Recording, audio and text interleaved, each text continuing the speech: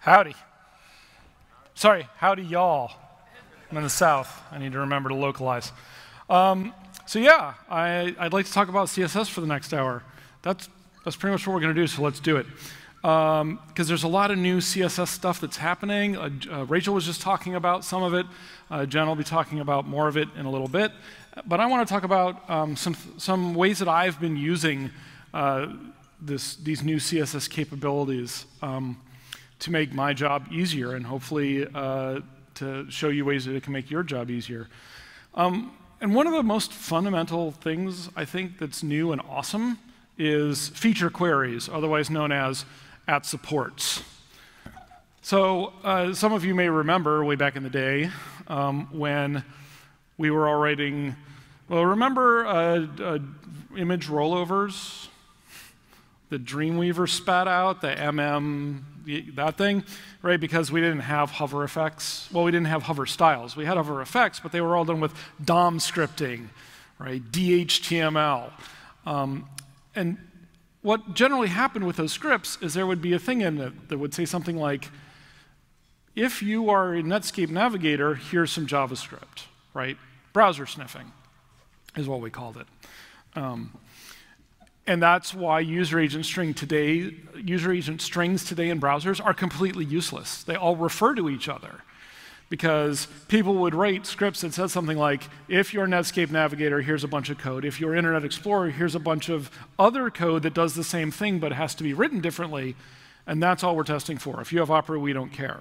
So then Opera changed their user agent string to say, no, Internet Explorer, promise, because Opera could do all of the stuff that Internet Explorer could do, but the way these scripts were written, they never, it never ran, had a chance to run the code. And then if you look at a user agent string today, it's like Gecko slash Mozilla KHTML Safari slash WebKit Trident, like no matter what browser you're looking at. Um, because all of the browsers, as they got more capable, still had people saying, I can't use my banking website. It just I can't log in. And when the uh, technical evangelists at those browser companies would go and look, they would discover it was because the banking site had written browser sniffing into their code and you couldn't log in without it for some reason. So then we moved to feature testing in DOM scripting, where it would, instead of saying, you know, if user agent has Netscape in it, if you know, you support this DOM method, then here's some code with that DOM method in it. Right? We don't care what browser you are. It could be some browser that wasn't even heard of at the time we wrote the code, but as long as you support you know, document dot, dot get element by ID, then here's some code that depends on document dot get element by ID. So that was feature detection or feature sniffing instead of browser sniffing. Well, CSS has feature sniffing. CSS never actually did browser sniffing, although people asked a lot uh, over the years. But we have at supports where you can say something like, hey, if you support display grid, then here's a block of stuff. It's very, very similar to media queries. Hey, if this is a screen medium and uh, it's we're less than 30 m uh, wide, then here's some styles to apply. In this case, it's if you support this thing, this combination of things, in fact, then here are some CSS that you can work with. Uh, it has to be a property and a value, always. If you haven't used uh, feature queries, I just want to make that point. You can't say at supports display. For this precise reason, uh, if you're testing for grid um, support, but you ask a browser if it supports the display property, it'll be like, I've heard display. Oh, sure, even if it doesn't support grid.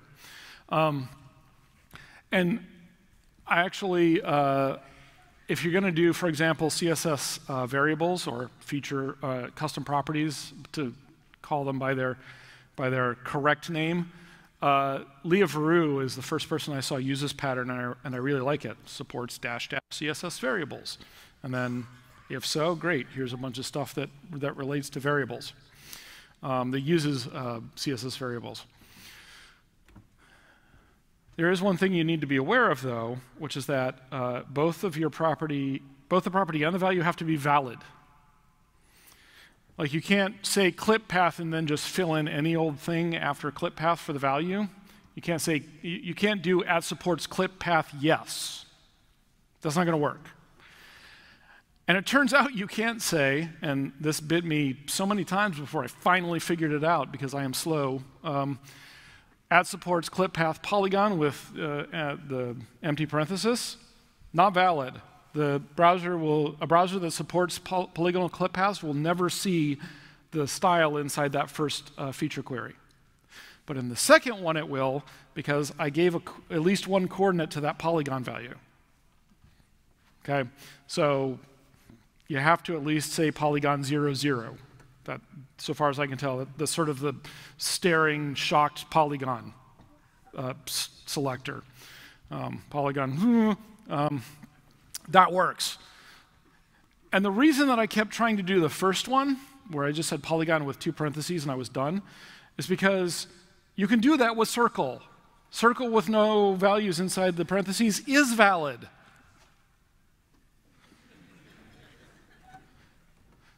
So, right, you, you can say circle, and that's, that's fine. But if you say polygon, nope. You have to have the polygon some sort of valid coordinate. I mean, it doesn't have to be 0, 0. You could do 50% minus 5% if that's the first uh, coordinate in your, in your polygon. You could have the whole, literally do the, hey, if you support clip path polygon, 50% minus 5%, 105%, 50%, et cetera, et cetera, et cetera, like just copy that whole thing up. You can totally do that. Uh, you don't have to, but you can. Um,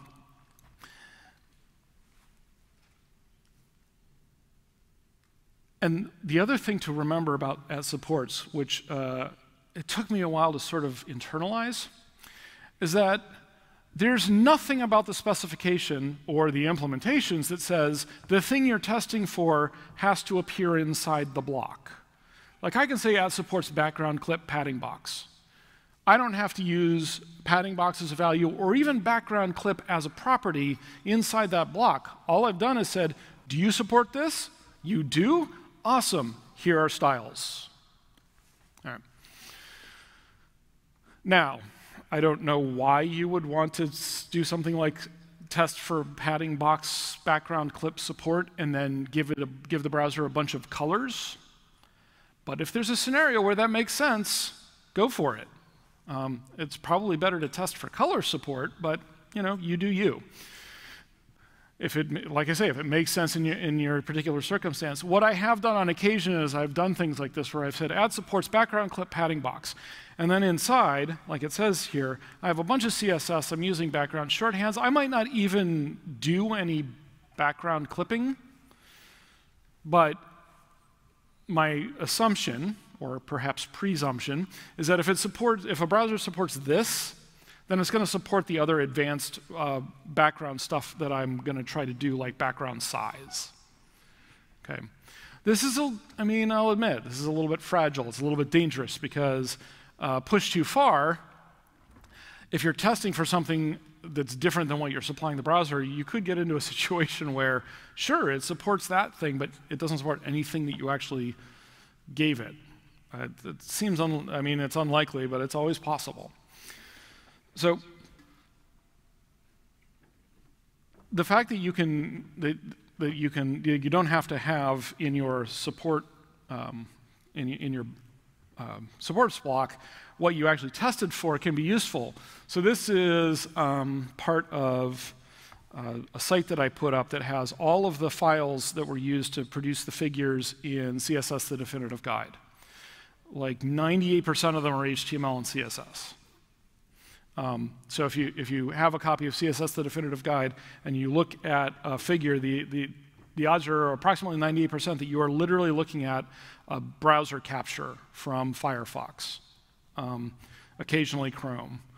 Um, the Firefox had better uh, capture tools, so I, I, used it for most of it. Anyway, so I, I put all the files online. Why not?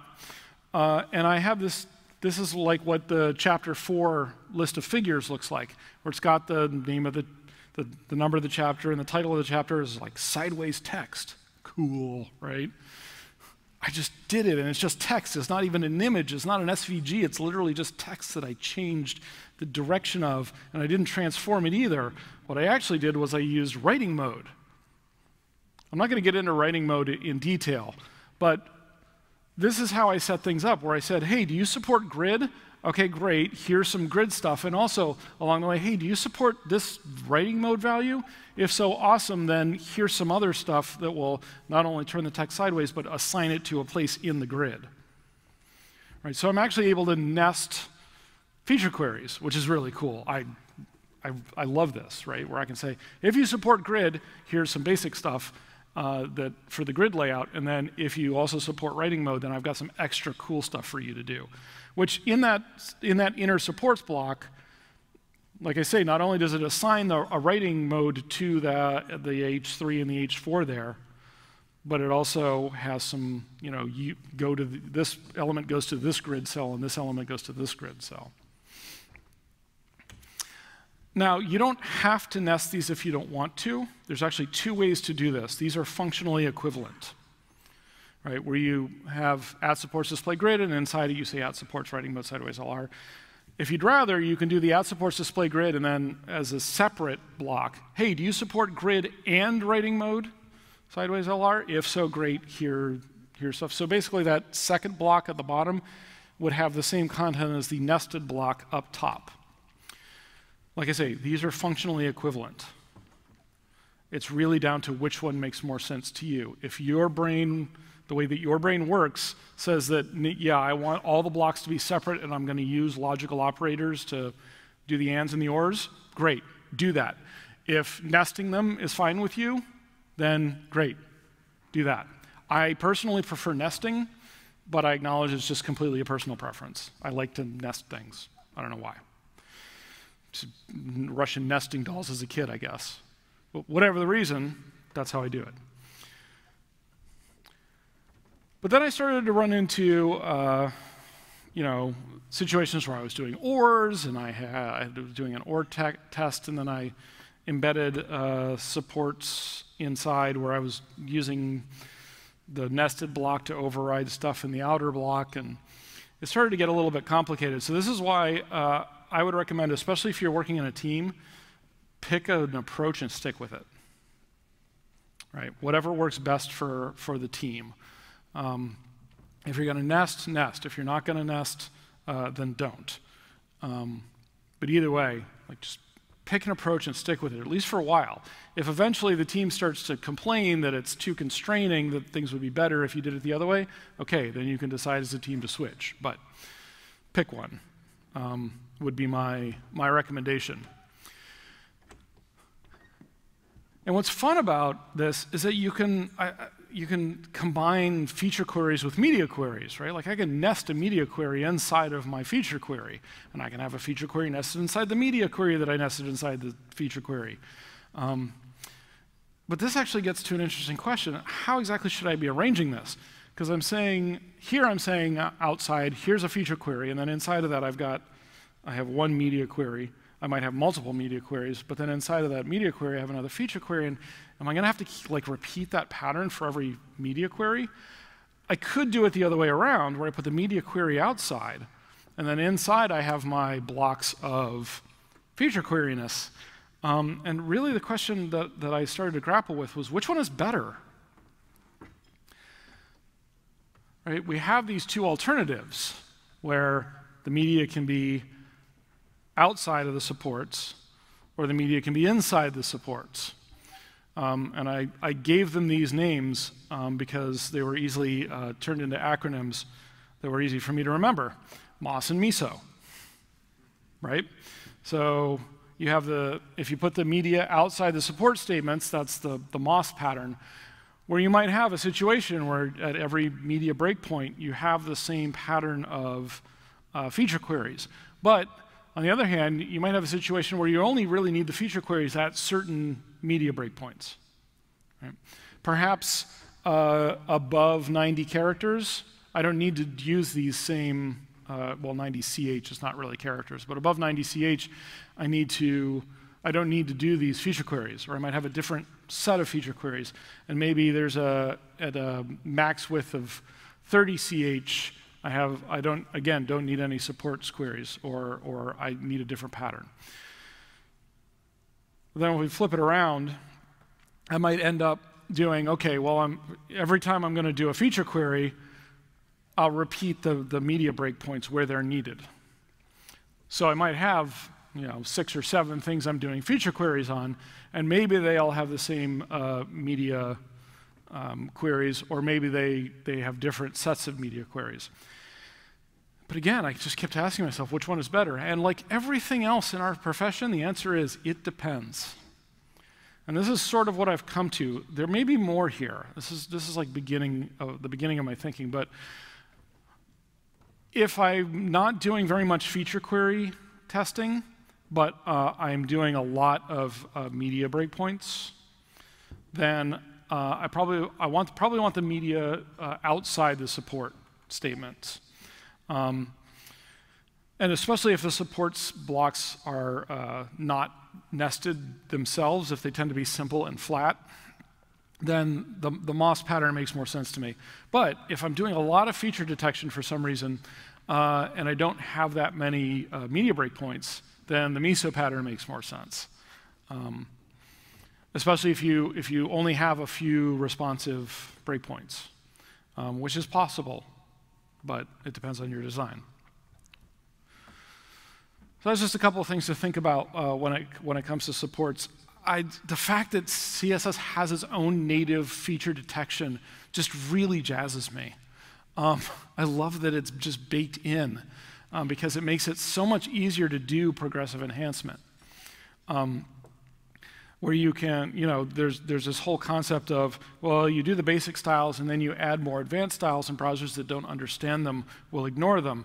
But of course, we're always a little bit paranoid about the, the, the that idea that maybe uh, a browser will only half implement something, and so it will, it'll break what we did. I mean, that's much less likely now than it used to be, but you can do, you can do the sort of thing where you say, okay, great, uh, I'm going to test for support for this.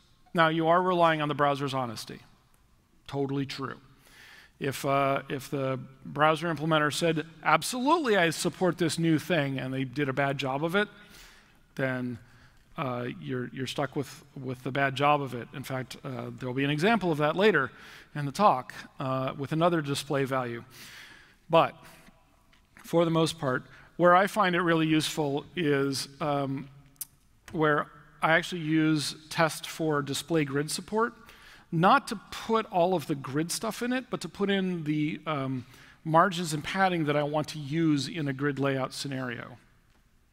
So that's actually a situation where the thing I test for actually doesn't appear inside the block because maybe I have certain uh, margins and paddings for various elements if they're going to be in a linear layout, basically at mobile size, let's say. And then, hey, do you support grid? Okay, great. In that case, I need you to like get rid of the margin that I put around headings because that will like that will mess up what I'm doing in the grid. So it serves as a, as a useful bridge between now and what's coming. And one of the things that I've been working with a lot, and I'm, i suspect many of you have as well, is Flexbox. Uh, Flexbox is uh, incredibly well supported. This is a thing that I say, and people generally don't believe me. Flexbox has wider browser support than rounded corners. Border radius has, is not as well supported as Flexbox. And generally, when I say that, people are like, that cannot possibly be true. You know why it's true? Because Opera Mini supports Flexbox, but not border radius. anyway, um, it's like 98%, 95, 90, I don't even remember what the percentage is. It's stupid high. Um, support for Flexbox. And I find Flexbox really useful. And I use it in, I've been using it in places where you might not otherwise think to use it. Um, for example, here's this uh, speaker page layout. I use Flexbox for the social media icons at the bottom of the picture. Uh, and not to put them at the bottom, that's actually a negative top margin that's pulling it up, literally to center them. And I'm sure some of you are thinking, but Eric, text-align is still a thing. And that's inline content, and text-align applies to inline content. That's true. But I found it useful for, for a few reasons. Because as you can see here, Jen had, has, we only have a few social media uh, links for her. Um, Rachel's page, uh, the, the image size is a little different, um, you know, and there are some more icons. And then you have pages like this jackwagon who's got a, like a million social media links, whatever's going on with that guy. But so here's the question though. Well, let me, I'll get to the question in a second. If you look at this,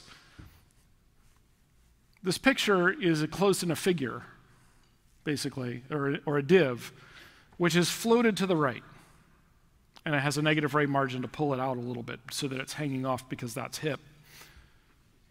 But I'm floating a thing to float it. I'm not floating a thing to make it a column for layout.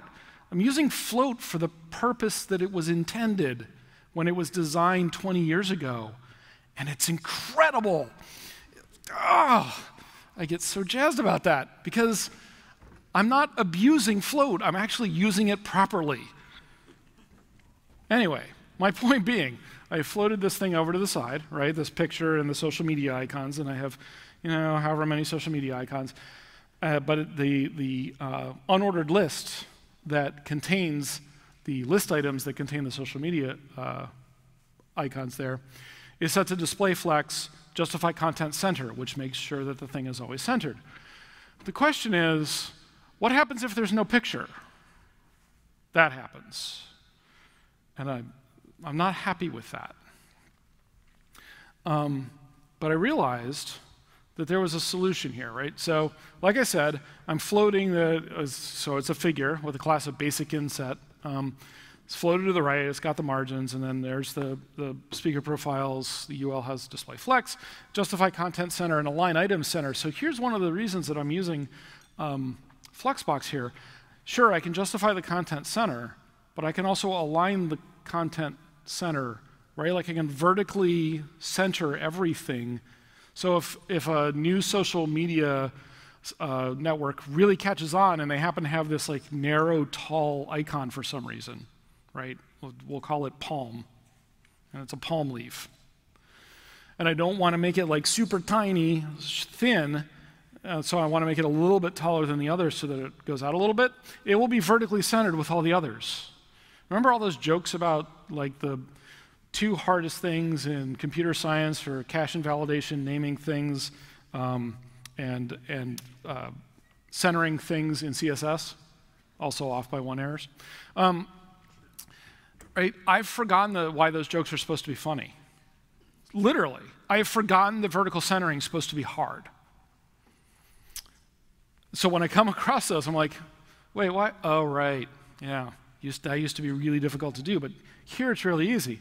Okay, but back to my actual problem here, which is not that I have a taller social media icon, it's that I have this weird float, which I could leave like that. But I thought, you know, when we don't have a photo, we have a class. So all I really need to do is change the flex direction, and I'm done. The thing's floated to the side, but I've said instead of having your flex direction be row, have it be column, and then they all go in a column over there in the, in the blank margin, and they're, they're centered, so if somehow the, the, the float gets taller than, than they are, like if I manage to stretch it so it's the page height, they'll be vertically centered because of justify content center, and because now they're, now they're in column, the cross-axis is the horizontal, they'll all be align item centered, so they'll all be horizontally centered with each other. Like centering just happens, no matter which direction they go. And it, that's like, you might think, oh, so he showed us the, the bare minimum flex direction column. Well, yes, I did, but it's also the sum totality of what I added to make that happen. Right? I had all that stuff originally, and then I just said, hey, in this situation, make yourself a column. And I walked away smiling. Right? And then if we do have a picture, great. The, the class doesn't get applied, the no photo, and we go, and then so flex direction column doesn't apply, and we're back to this. And Flexbox is really useful if you're going to be in a situation where you might be internationalizing. So, you know, here I have tabs. Remember tabs? Remember when we designed tabs? Some of you might remember sliding doors even, but that's, for the rest of you, Google it. Slide, a list apart sliding doors. You get to see what we used to go through just to make this kind of thing happen. Anyway, so I've got uh, this nav set up. It's display flex. I justified the content to flex start, right? So it's over there on the on the left because we're we're here in in English land, and, and there's some other stuff, obviously, I didn't show all of it. But what happens if this gets translated to Hebrew, right, which is a, or Arabic or any other right to left language? What do I need to do with justify content? I need to do that. I don't have to change anything because flex start is dependent on writing direction. And that's one of the really cool things about Flexbox right now that is going to become more and more of a thing in CSS is that there, our positioning, our, our you know, side-to-side kind of stuff is going to become more logical. But what, what I mean by that is things like we have margin left and margin right, yeah? Which means either a margin on the left or a margin on the right, regardless of the writing direction or anything else, regardless of whether or not this suddenly goes from being uh, left to right to top to bottom because it's been translated to, China, uh, to Japanese. But there, we're, we're, we're coming to a point where there will be values like start instead of top. And there will be properties like margin block start. No, don't write that down because I, don't, I can't guarantee that that will be the property name, but that kind of idea where you say, this is the margin I want at the start of the writing direction. This is the margin that I want at the start of the cross-axis direction. This is the padding that I want at the end of the writing direction for this element. And this is a, just a first taste of that where I said, you know, justify yourself to the start of this flex direction. And the flex direction is writing dependent. If this gets translated into uh, Japanese and, the, and it's decided that the tabs go down the side of the, of the layout, justify content flex start means that it starts at the top and goes from there. It's the greatest. So, at the top of an Event Apart's website, some of you may have seen, we have this thing with the logo and the nav bar, and this is how it's structured right now, where we have a body and a header that has the logo in it, and then there's all of the content, and then down near the footer, there's the navigation. And then we uh, absolutely position the navigation up in the top. This was a real, I mean, most of you have probably done this, a really common pattern for a really long time the idea being for accessibility reasons that you wanted people to be able to get to the page content as soon as possible, and you didn't want them every time they hit a page to have to like listen to their speaking browser read out the nav bar for every single page. This is no longer a good pattern. We'll actually get to that in a second. But this is what we did for a long time. This is what I did on my personal site, right? You take the nav from the bottom and then you absolutely position it up into the top right or the top left or the whatever, which is great um, except you can run into situations like this.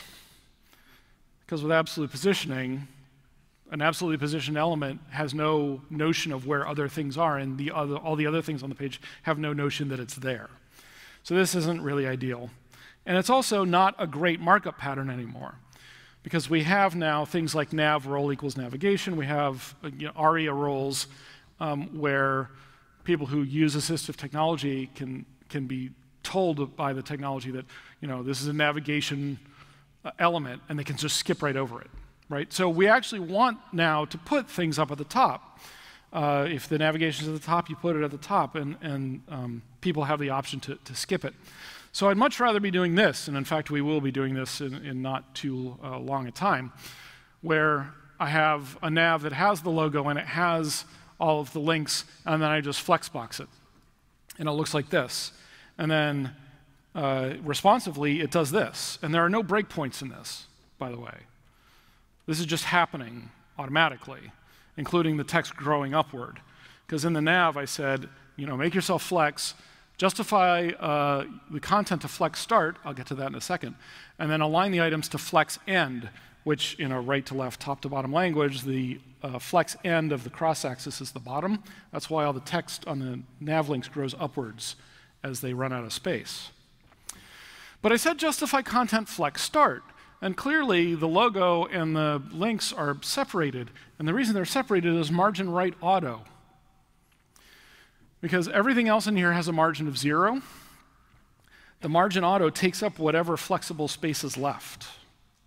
You can really only do this once or twice in a given flex line, but you can do it. I'll use Firefox's Flexbox inspector to, to make this hopefully a little more clear that, that um, the crosshatch sort of thing that shows up to the right of the logo, that's the mar margin right on that logo. And because it's auto, it's just taking up whatever space there is. And if there isn't any space, then things start to squish down because they're flexible. They're flexible boxes. And a thing that it took me a while to internalize, actually, first it took me a while to realize, and then it took me a while to sort of have this be a, a, an instinct, is that anything I can do horizontally, I can do vertically. Flexbox doesn't really care about the direction. So, as an example, some of you may have seen this when you came to register for uh, the show. Um, this is for San Francisco, but it's the same kind of thing. We have these, these badges, right? You can click buy now and whatever, but if you look, all of those footers are all lined up with each other vertically, right? And no matter how long or short the descriptive text is, and if we uh, make that move, then that, that keeps happening, right? all of these uh, badges preserve the same height because they're all flex items in a, in a flex container that, that contains them all. And then each of the badges itself is a flex container that has a column oriented uh, flex line. Okay? So, how'd that happen? Let me zoom in on one of them. This is the markup inside one of these, pretty much. Inside the footer, there are a few extra elements, but at the top level, there's a time element for the date, there's an H2, there's a paragraph, and there's a footer. Okay? So I said display flex direction column. Time has no margin. H, uh, one, H2 has a top and bottom margins. The paragraph has a bottom margin so that uh, if it's long enough that it's going to come up against the footer, I wanted it to have some extra space between the paragraph and the footer. And then the footer has some top padding, which is the purple there, and then margin top auto, because everything else has been, has been nailed down to an explicit value, that auto means that it will take up as much space. That blank there is where the magic happens. No matter how tall or short this badge gets, the footer will always be pinned against the bottom because it's forced there by margin top auto. That's enough of that. Right? So again, if I can do it this way, whatever I can do this way, however I can arrange things, however I can distribute them, however I can push them to one side or the other, I can do the same thing this way, or this way if I do column reverse. And it takes a little while to get used to that because that's completely alien to the sorts of capabilities we've had. Right? It's, it's difficult to remember that that's a thing you can do. It's like this is a thing and it exists, and I can make it happen in more than 95% of the browsers in the world. Now, if you support a site that has a majority IE11 user base, this might not be as uh, relevant to you. IE11 does support, I believe, some Flexbox, but it's not super great because it's an older version of Flexbox. So you might not be able to get away with this. I haven't done, I admit, exhaustive testing in IE11. But if you're supporting you know, a large corporation where the IT staff has said that everyone will use IE11 because it's the safest and that's their rationale. And before anyone chuckles derisively, I can almost guarantee you there's somebody in this audience who lives in that world. Not by choice, necessarily, but they, that's what they have to deal with. I, yep, there's a someone over here is like doing the, it's me. And there's probably other people in the audience who are like, I'm not going to say anything, right? But, right, that, that exists. But it's still worth looking at doing these things because, as an example, with those badges, like with a set of five badges, it's cool that I got everything to line up. But if they were all different heights, but they were, you know, they didn't look horrible, they were just different heights, so what? right? Progressive enhancement. Um, yes, I understand that if the CEO doesn't like it, then so what becomes a, a problem. But um, you know, you, you, can still get away with a lot of these things. Anyway, uh, that's you know, getting used to this idea with Flexbox that you have all these things that are sort of flexible and springy inside of boxes. Yeah, yeah, yeah. You see the metaphor here? Yeah. Okay. Good um, then uh, and, and, and start to play with things like what happens if I put auto margins on the right and left of, of things? Um, what happens if I only have one auto margin? Uh, what happens if I use it to push this over here and that over there? Um, and what happens then if I try to do it vertically? Right? play around with this stuff and, and, and find out how Flexbox really works. There are some surprising capabilities in there that the specification doesn't spell out necessarily unless you are super familiar with spec speak, which almost nobody is. And I get that. But um, like the specification doesn't say, and here's a cool thing you can do with auto margins. That's not what they're there for. If you want to go through the entire like Flexbox layout algorithm, which spans several pages, and by several I mean several dozen, go for it. I've been through that process. I do not envy you. Um, but for some people, that's their jam. Anyway, but moving on from Flex, now we're moving up to the world of grid which uh, Rachel was just talking about, which Jen is going to touch on.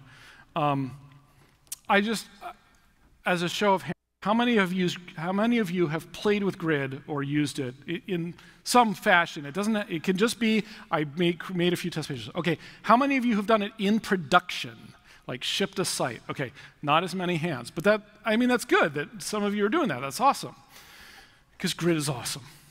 It's the best. Uh, it's another, th- it's basically since the beginning of CSS, or sorry, not since then, since the beginning of the period in which people, other than my wife, asked me what my opinion was on CSS, and they've asked questions like, what does CSS need? What is it missing? I have said layout. It's a presentation language, it's not a layout language. That's no longer true. Grid makes it a layout language. Not, not, a perfect layout language, there's more that can be added to it, but it is a layout language now. 20 years, finally, that layout shaped hole at the heart of CSS has been filled.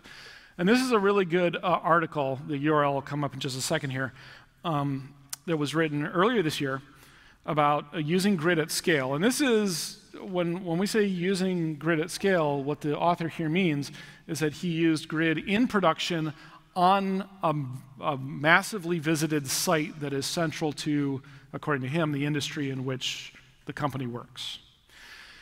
There are a lot of great nuggets in here, but this one in particular I wanted to pull out, where he said we, we used grid to like put things in the layout, but inside of those things that we put, placed in the layout, we used Flexbox to arrange what was in there. Even if it didn't always make the complete sense because the team needed that distinction. They needed to say, up here we're using grid and down here we're using Flexbox, right? It helped, it, it kept them from getting confused because different people in the team will be at different levels of understanding of Flexbox versus grid, right? And so if you just say, look, if you just said, use whatever, or use whatever seems best to you at the moment, then you might have somebody who implements this one component in grid and someone else implements a similar component in Flexbox, and they don't talk, right? Like, when you're working in a team, you need to draw these distinctions. And I think this is a good idea. Even if I might draw the line somewhere else, a line was drawn. And I think that's valuable. And I think it's a good thing for you to consider, especially as the team gets up to speed on how you want to use these technologies. Right? Because you may, have a, you may have a project, your team may be working on a site where grid doesn't really help that much. I mean, it's still cool, and, it, and, and I'll, I'll show you reasons why you should still get to know it anyway. But it might be, you know, something where you say, yeah, I mean, grid is nice, but it does, you know, it doesn't give us that much. Whereas Flexbox is great because of the, the X, the Y, and the Z that we use. Or it could be vice versa, right? Flexbox doesn't help us except in the nav bar across the top. But everything else, man, grid, all the time, everywhere. That's for you to figure out. At any rate, I had a situation that I needed to fix. Those of you who are familiar with WordPress will be familiar with this inside the dashboard. It's the recently published. And there's something that always bugged me about this, which is this. See what's happening to those links? Where they wrap underneath the dates and the blank space? That's not right. That shouldn't happen. And for years I just put up with it because what else was I going to do? But then one day, I looked at this and I said, This is a grid. It's not much of a grid, but it's still a grid. I could do something about this. So I installed a little plugin to apply CSS to administrative area of the site. And so here's how this is structured. And you have to remember, this is, a, this is a situation where WordPress is generating this markup. I cannot change this markup, which is the situation that a lot of us face, which is something else generates the markup, and we don't get to change it. Or we might get to change it a little, but we don't really, like, we can't dictate that. So I have a situation where each of these recently published items is a list item that has a span, not a time element, and then a link, okay, and that's it. That's all I have to work with. And the way that it uh, pushes the links to the side is that it makes the span be inline block and gives it a minimum width of 150 pixels. That's how that works. Okay, so this is what I have to work with. I have a span, and I have an A, and I have a list item that contains them. I can work with this, I said to myself. So I did this, and this was the result. Basically, I said, hey, for list items, display grid, grid template columns, max content 1FR, grid gap of 0, uh, 0.5 em. So I, I'm putting a gap of half an em between grid cells. I don't have to define the margins on the span or the A to push them apart from each other. I just say, there's a gap between you. We're done here. And that's a gap between, it's not a gap around the outsides, right? So even, anyway. Um, and then I, for the span, I said min width auto because I didn't want it to be 150 pixels. I wanted it to be whatever size it was going to be. I was like, yes, I have failed to do what I really wanted to do. I got close, but I'm not quite there. And some of you may have spotted the problem. For those of you who haven't, let me illustrate. Those don't line up.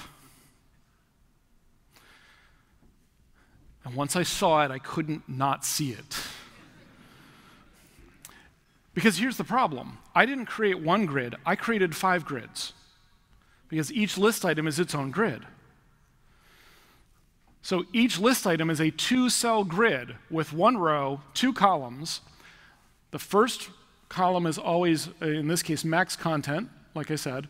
So that's the maximum size of the content, uh, basically the maximum width of that date. And then the second column is whatever's left over. That's the 1FR. But the dates weren't always the same width. And I could have gone back to 150 pixels, but damn it, I was not going to. Right? There had to be a solution here. And there sort of is, except there isn't yet. Um, what I finally came up with was I did set as uh, an explicit width. I set it to 9em for the span, or for the yeah for the span instead of 150 pixels, which was not really where I wanted to be. What I want to be able to do is say, hey, each of these list items is going to participate in a grid that they all share, so that I could go back to saying max content 1FR, and then that first column would be the width of whatever the widest date was. That's what I want, but I can't have it yet. Rachel talked about subgrid. There's also, you may have heard, there's a way to sort of fake subgrid, which is to use display contents. And that actually, in a supporting browser, which uh, in this particular case was Chrome when I took this animation, um, you get basically you say, hey, the list items are display contents. And what that does from a CSS point of view is it makes all of the, in the, in the rendering tree, it acts like the list items went away and their children got promoted to be children of their parent. So now the uh, span and the A in each of these list items are being treated as if they are children of the UL, not of the LIs. It's like the LIs went away. And this does exactly what I want. Here's the problem. And here's the reason why all, there's all that sort of monkey vomit green instead of the nice Christmas green that we like to see for support, is that uh, like I said, the list item is taken out of the rendering tree, but there's a bug in all of the browsers that have that terrible green, which is that that list item and all of its children are also removed from the accessibility tree. So for someone using assistive technology, those list items effectively don't exist if I'm using display contents. That's not acceptable. Can't, so display contents, really interesting, uh, could have uses beyond faking subgrid, but don't use it yet. Keep an eye on the support. And basically, uh, right now, it's, we're stuck at Chrome needs to implement a fix because the Edge team will not deploy display contents until Chrome is doing the right thing. It's a long story, and I'm not going to get into it. Um, Firefox, this is actually, this chart is slightly out of date. I should have updated this. Uh, six, Firefox 62 is out now, so they've fixed this accessibility bug. but Chrome so far has not. Nor Safari or, or any others.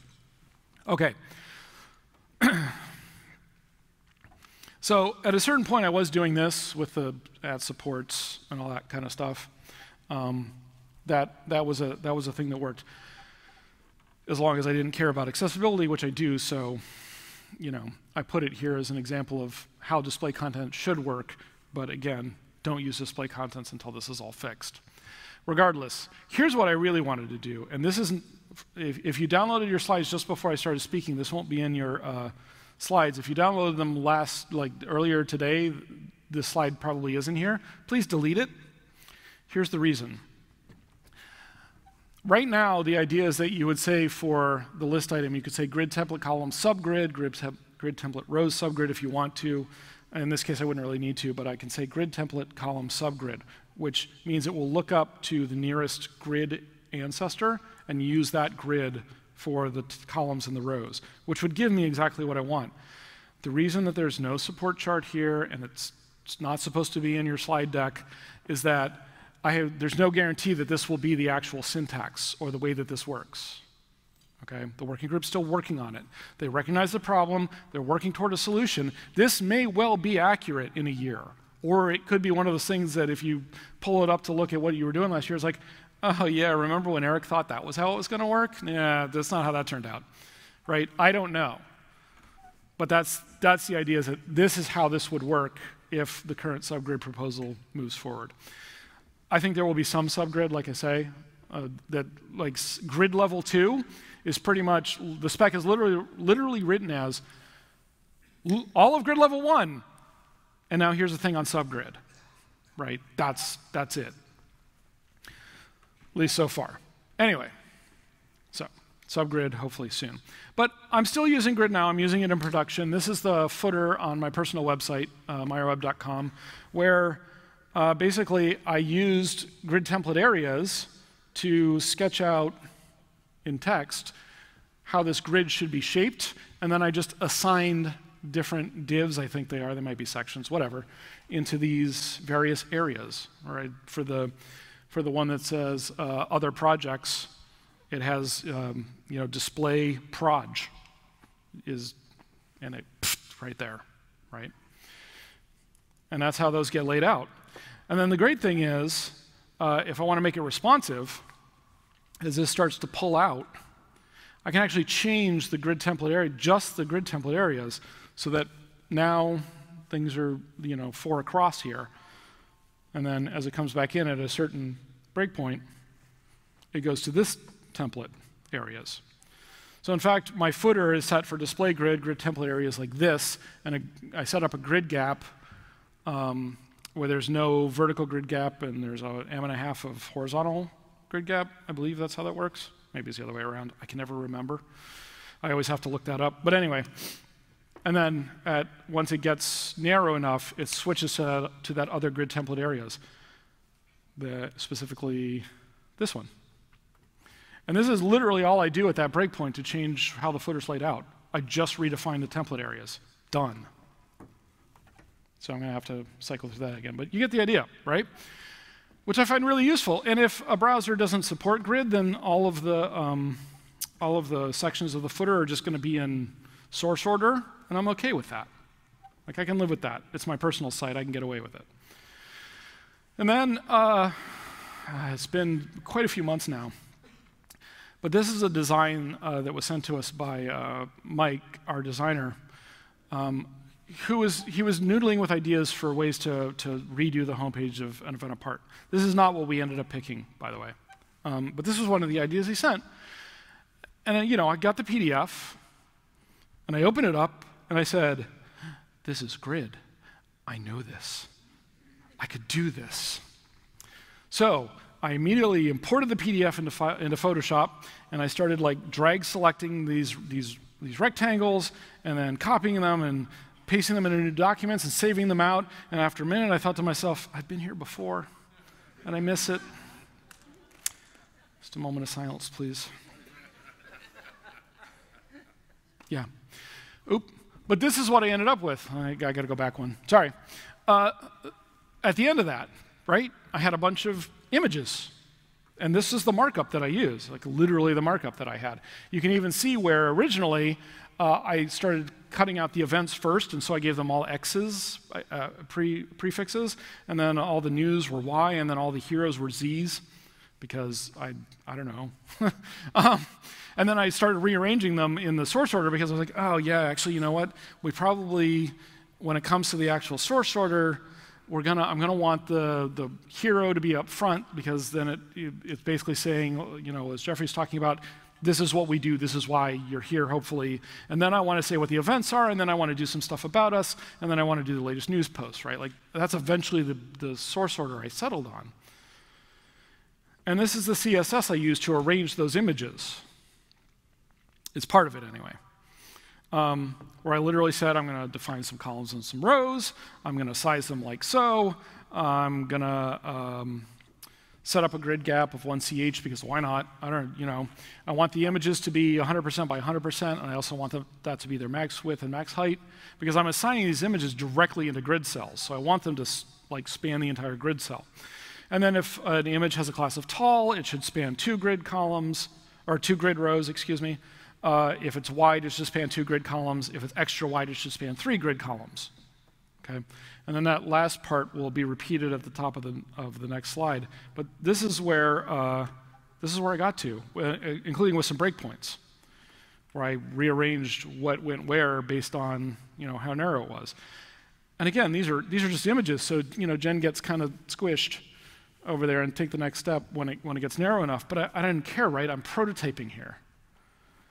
And then there's that span two, span two, span three again. And then I pretty much just said, I want the hero, first hero to go here, the hero image, the second hero image, which is Jen, to go in this place, the third hero image to go in this place, the sign up form to go in this place in the grid, and the rest of it can just automatically flow in. Wherever it goes, it goes. Because this is my grid. And so things just flow in. So here's an example of one of the breakpoints where I said, okay, at this breakpoint, I'm going to change this span and I'm going to change that thingy over there, right? And it looks like this. And then I thought, you know what? Why don't I just redo this as text and background images? Because I could do that. And uh, so I did. I, I, retyped all of the text because it came to me in a PDF and drag selecting and copying text properly out of a PDF, and it was faster to retype it. So I did. Um, but I used the same structure. I just replaced those images with like divs or whatever. Um, I think they were divs. And then I put in text that was in H2s or H3s or uh, paragraphs or links or whatever they were. And I used uh, some, calc si some uh, calculation values for the font sizing so that the font size would scale up and down so if you had a, like a huge monitor, the text will be bigger. And if you're you know, tiny values, it'll be smaller. Um, I used some uh, mixed blend mode uh, to, to prototype some ideas as to how the, the text would, would look on the, on the background of um, that was behind it. That sort of thing. You know, but we ended up with that. And I have to say, at this point, from the time that I got the PDF until the point that, that I had this uh, scalable text, was about two and a half hours. I already had a working prototype in two and a half hours. And this grid code that I wrote might have never seen production. Right? Remember, I said we ended up not going in this direction. And in fact, part of the reason we ended up not going in this direction is that when I was at the end of that two and a half hours, right, right before lunch, I sent mail to the rest of the team and you know Mike and Jeffrey and, and everyone else and said, "Hey, I I just, I worked this up. Let me see what you think. And Mike told me um, a, a month or two later that that helped him see that that was the wrong design direction. We were not going to do that. Which you might think to yourself, oh man, Eric went to all that effort. It was two and a half hours. And, we, and already Mike knew that it was a mistake. Imagine how much time we would have wasted if we'd all convinced ourselves it was a good idea off the PDF, gotten most of the way through implementing it, and then realized it was the wrong direction. Now what? Do we keep going even though we think it's the wrong direction? Do we scrap it all and start over? I like to think that I saved us all a lot of time and heartache, right? Because I was able to, with Grid, rapidly prototype this, like really rapidly prototype it. I was surprised at how fast it went. right? And I was able to use grid inside of these little boxes as well. So this shows the lines just for the Seattle box. Actually, for any box that has special editions. So, but this only applies to Seattle. I just extended them infinitely. And this is how they're, they're spec'd, right? Inside, I said, you know, display grid, grid template rows, and I named them all. Rachel was talking about naming grid lines, right? I said, okay, the first grid line is called city, which is that top one right across the top of the Seattle box. I named it city. And then I said 50% track size, which means it'll be half the height of that box, however tall or short that box gets. And then the next one is Spec Ed for special edition, min content, uh, so that it'll be as tall as the content, and then a half em for that, that little separator between special edition and full schedule available. That's a half em grid row. Then full sched for the full schedule, 1.5 em for that, 2 FR for that separator, and then dates. The, the line right above the date there is dates. That's another one and then one FR below it. So again, as things, uh, if this uh, got taller or shorter, the separation between full schedule available in April 2 through 4, 2018 would be twice the height of the space underneath April 2 through 4, 2018, because 2FR, 1FR, that gets 2 and 1, like that, right? And then down there you can see I said grid row city, grid row spec ed, grid row full sched, grid row dates. So that if I decided I wanted the date to be on top, I could literally just rename the grid line names in grid template rows up there and not ever change anything about the last, that, that second block of CSS. I could just rearrange things really quickly. All I had to do was, uh, was edit the template, not the assignments. Right? That's part of what makes this so fast. Once you've like come up with good labels and said this is going here and this is going there, all you got to do is edit the template. Okay, and then this is how things turned out in, in a situation where um, there wasn't a special edition. And I could look at this and I could say to myself, okay, so I like how full schedule available lines up with the special edition boxes for, a, for an event that's not special edition, but what's going on with the date there? It doesn't line up with the other ones. I probably, I'm going to have to do something about that. It took me 30 seconds to figure this out right? To figure out that there was a problem. I didn't actually ever get around to fixing it because it was around this time, I think, that I got the email from Mike saying, yeah, let's not do that. Um, and I could also use things like events, like hover events, to try different things, right? So for events, I have this template rows, but then if the body gets hovered over, an event has this different template. So literally, all I have to do is move the mouse cursor into the browser window to have it change the order of the content in these boxes, and then move it out to switch it back. like, do I like this one, or do I like that one? This one, or that one? This one, or that one? And I could have sent it to the rest of the team and said, hey, what do you think? Right? There's a difference here. The date is always right underneath the city in one, but it's always near the bottom at the other. And the special edition is in a different place with regards to the dates, right? Because I just edited the templates. So great. it felt so good. And then uh, this is something that I was doing to, for, the, uh, for the cities there. Remember that first grid row is 50% tall. It's half the height of the box. And originally I said, okay, well, there's an H3 I'm putting there, and I'm going to make it flex, and I'm going to have it be the, I'm going to line the items to the flex end, and blah, blah, blah, blah, blah. And then I thought, wait a minute, I don't have to do all that. It's an H3 that I'm putting into a grid. I could change it so that it has margin top auto, and I don't have to make it a flex, and the magic will happen, just like it did with Flexbox. It'll push it down so that the text Chicago is right there above that 50% point that I want. And the same for all of the other cities. Right, so rather than turning this H3 into a flex thing, I could just let it be an H3 and say, your top margin is auto. Awesome. And it got pushed to the bottom. And so I had this, right? I have this fully responsive thing that I, this prototype that I had created in a morning. And I didn't go through all of the little pieces of it because unfortunately I didn't really have time, but um, you know, you can, the core of it, you can, you can see here where like, see how the dates are not lining up vertically because I didn't, I didn't actually ever get around to fixing that part. But again, before lunch, I had something I could show people. And it was, you know, full selectable text and the text scaled up and down thanks to the calcs. it was like a superpower, right? Grid is amazing for this. Even if you're not ready to, to deploy Grid in production, even if your user base says, you know what, they don't have Grid, you can still use it today. You both, and it has two advantages. One is you start to get used to it, so that when you're ready to deploy Grid um, in production, you're you're set, right? You've already had practice with it. But the other th- the other reason is that you can be so much more productive with it, right? Some of you may have seen this over the years, right? The, what my friends think I do, and then down at the bottom, what I think I do, and then what I actually do. Anyone remember that support table right there? That was, that was a transitory period. And yeah, for a long time, this is kind of how it felt. But to me, this is how it feels now. I'm not kidding. And honestly, I have to change that, that, that middle bottom uh, now, right? Because that's what I keep hearing. Have you checked the support tables? No, Brad, no, I haven't. And I'm not going to because I'm prototyping here. I'm using this for rapid prototyping so we can figure out if this is going to work or not. So I can, we can look at it at breakpoints and say, is this trash? Is it pretty garbage? Or is it serving a need? Right? Is it doing what we need it to do?